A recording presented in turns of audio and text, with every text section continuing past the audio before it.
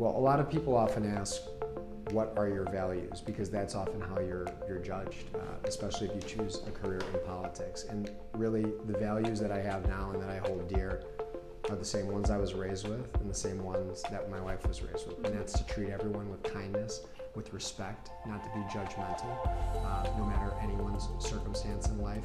Uh, because, as I said, I truly believe everyone has the potential to achieve greatness, and people get there through different ways. But the one way you can be your best self and to help them get to where they want to go is to not be judgmental and to be kind.